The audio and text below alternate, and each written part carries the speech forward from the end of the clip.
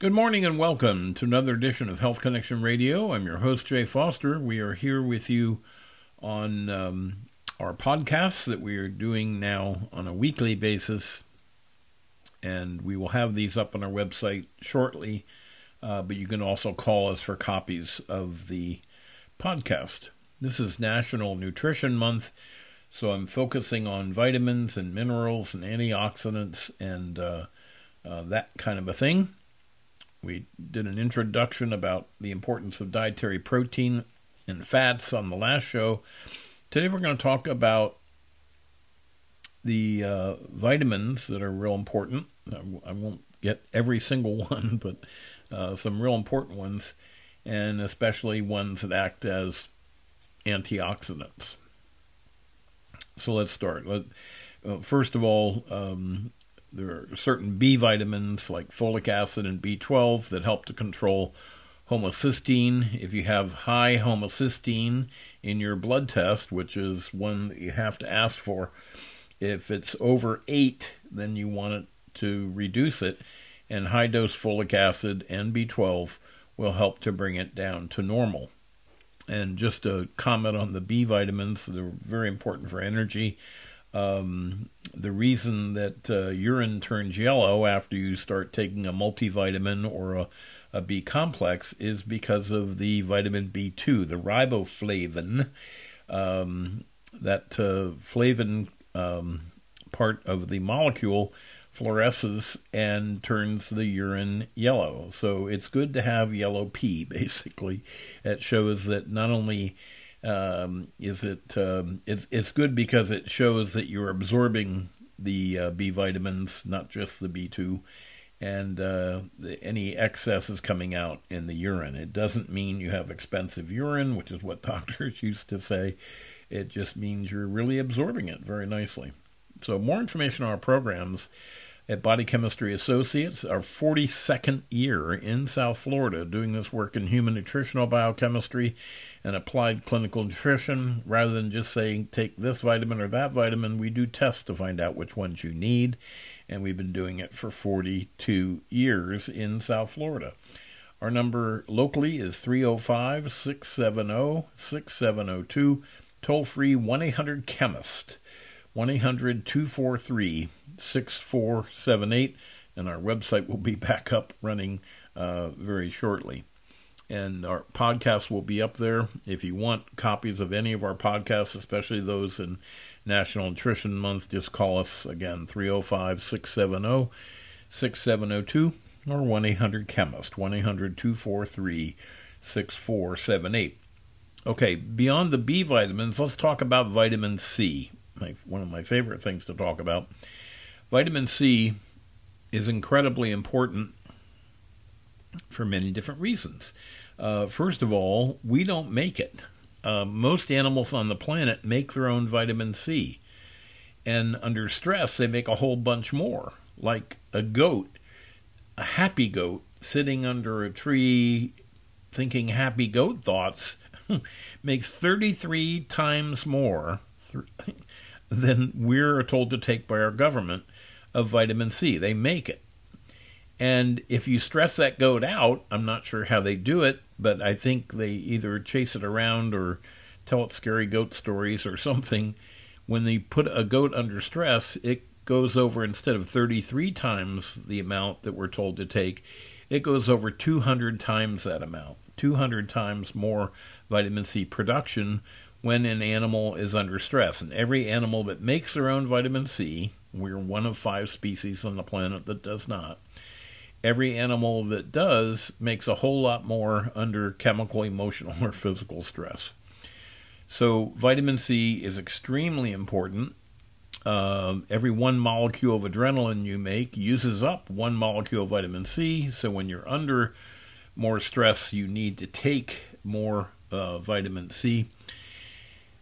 And let's talk about the vitamin C deficiency syndrome called scurvy. And there's a very good book a friend of mine got me years ago called Scurvy How a Surgeon, a Mariner, and a Gentleman Solved the Greatest Medical Mystery of the Age of Sail. Now, you, you got to realize this was an incredible discovery because they didn't know what scurvy was. Um, they thought it was an infection, they thought it was this, they thought it was that. When they finally came up and found that it was uh, due to a vitamin C deficiency, um, first of all, on all the British ships, they put limes and, and citrus, and that's why British sailors are often referred to as limeys. But listen to this. The annual register for 1763 tabulated the casualty list for British sailors in the Seven Year War with France. Now, listen to, I'm going to round up just a, a few points. Out of 100, 184,899, so out of 185,000 men raised or rounded up for war, 134,000 died from scurvy. So only 1,512 were killed in action. Can you imagine that? So out of 180, what did I say, 185,000 men raised or rounded up for the war, 134,000 died from scurvy. And scurvy's no good way to die. I mean, you bleed to death and your breath is foul and you bleeding gums and everything like that. But most of that was from scurvy, while only 1,500 were killed in action. Can you imagine what that did and why Britain uh, ruled the seas after that, after they finally found out what was causing it? And they put a few limes on board instead of trying all these other things. And they uh, were allowed by that way to um, survive and be healthy and uh, rule the seas, and that changed the face of the world with vitamin C. Now, vitamin C is is also very important as an antioxidant, and it's very important in protecting your body from free radical oxidation. And that can affect the neurotransmitters as well. This is out of a not a fly by night uh, Health Food Store Journal. This is Archives of Neurology. Okay, Archives of Neurology. Most neurologists should read these if they hadn't. Archives of Neurology in 2004. Reduced risk of Alzheimer's disease in users of antioxidant vitamin supplements. And the conclusions say the use of vitamin E and vitamin C supplements in combination is associated with reduced prevalence and incidence of Alzheimer's disease. Antioxidant supplements merit further study as agents for the primary prevention of Alzheimer's disease, and they didn't use crazy doses. I'm telling you, 500 milligrams of vitamin C and 400 IUs of vitamin E gave the users a 78% reduced risk of developing Alzheimer's disease. Do you think that's significant? 78% with a few crummy vitamins? It was incredible. Very much incredible. So, vitamin C and vitamin E together helps to protect the neurons from oxidative stress. And that may be the biggest factor in things like Alzheimer's and Parkinson's disease. It also helps support the heart. Um, any kind of an antioxidant uh, reaction um, will help. Uh, you know, by taking care of that, that's going to help the heart and um, the whole system. Your aging uh, will be helped by that. So. I'm big on vitamin C. I recommend it highly. Uh, we have a very good uh, uh, formula.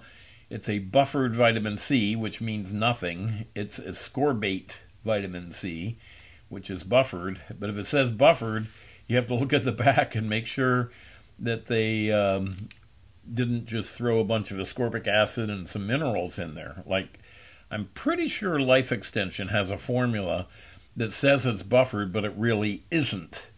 And they know better if if that's them. So if I'm wrong, I'm wrong, or if they've maybe they've updated it or something. But it's very important to know that it says ascorbate ends in ate instead of ascorbic acid.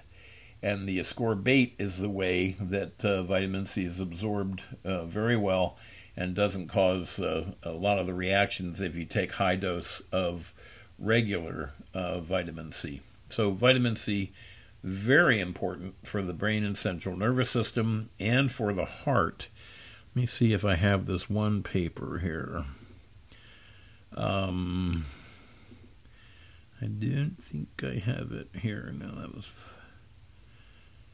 Oh, I see. That was the CoQ10.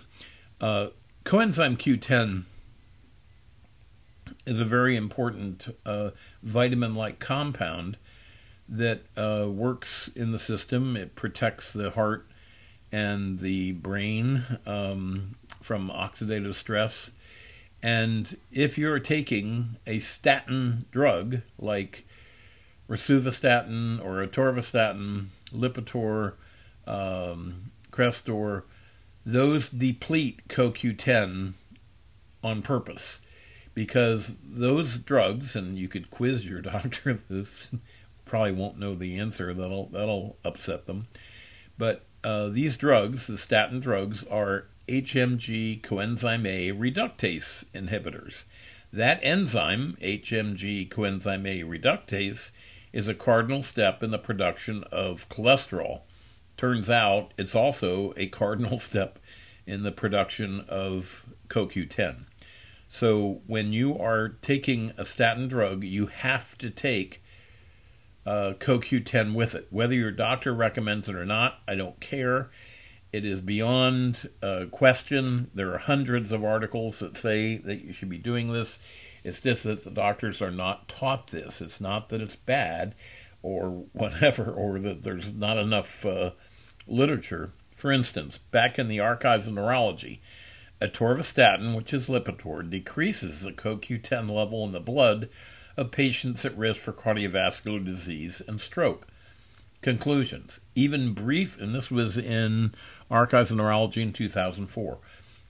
The conclusions. Even brief exposure to atorvastatin, Lipitor, causes a marked decrease in blood CoQ10 concentration.